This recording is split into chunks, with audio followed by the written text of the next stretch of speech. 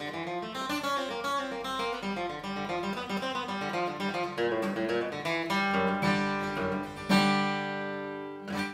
all out in flat pick bluegrass lands. We're going to look at installment three of the most badass licks in bluegrass. This one's a real classic and it's got a really interesting thing.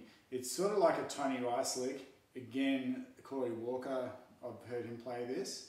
And Corey's got a really interesting way of doing things. He's got a really interesting way of doing things both rhythmically and harmonically. So he puts accents in really interesting spots in the bar. Also, he um, plays some really interesting notes. And you'll notice with this particular lick, this has both those elements.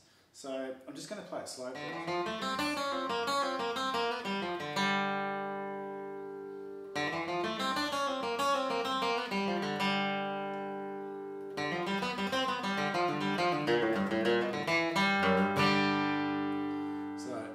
The second part to it there. So.